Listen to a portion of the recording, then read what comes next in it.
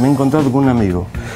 Le he comentado la historia y me ha dicho que sí podía venir y aquí está. Fue súper emocional. Trabajé, como se dice en Chile, desde la guata. La buena educación viene de la lectura. Suelo escribir de las cosas que me duelen.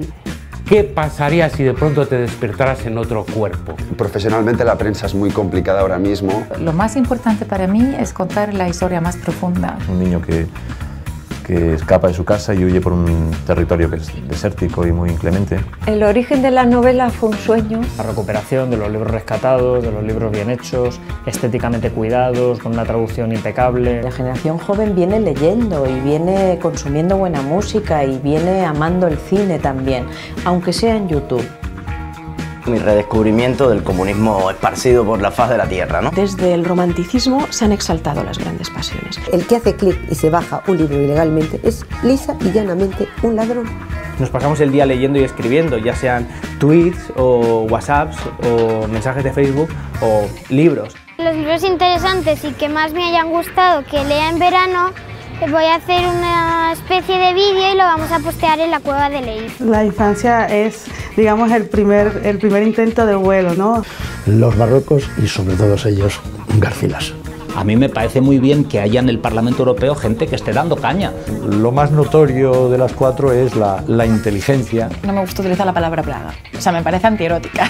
Y pienso que las mujeres hoy en día Sabemos muy bien lo que queremos, lo que buscamos y lo que deseamos conseguir. Nunca he sabido muy bien exactamente por qué la vicepresidenta no me deja preguntar. Eh, lo decían como si antes de la crisis la actualidad no fuera también una absoluta locura, ¿no?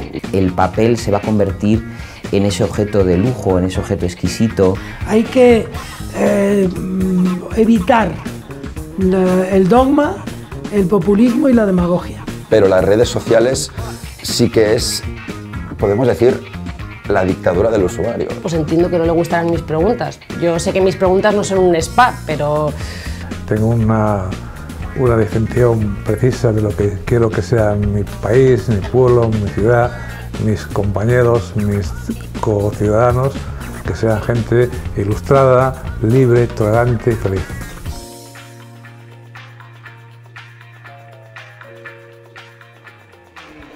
Bienvenidos a la Feria del Libro los gritos de los pájaros y la bullaranga de los monos. Como si árbol y cayendo se buscaran con la única intención de crear. No puedo seguir, expulso los pasos del funcionario. Bueno, es que yo creo que tenemos que cambiar la imagen de las bibliotecas, que no son un lugar de estudio, sino un lugar dinámico, vivo y del barrio. Entonces ofrecemos los espacios para que culturalmente se desarrolle la gente y pueda hacer actos gratuitos que a la vez sirvan de publicidad una historia tan complicada que decidimos no pensar mucho en los números y tirar para adelante. Y ahí estamos, después de cinco años. Los militantes de la literatura hemos crecido. No tiene mucho sentido seguir haciendo esos bestsellers infumables y ofrecerlos en un, un PDF.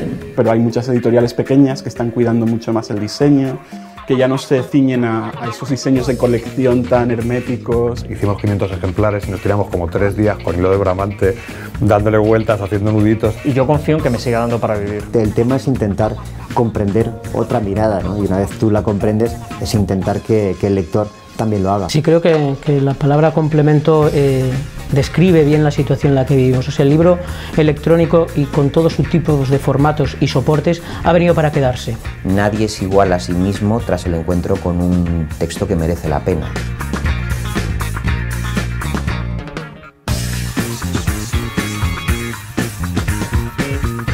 Por la televisión, la radio, el cine, internet, pero con el libro no acaba nadie.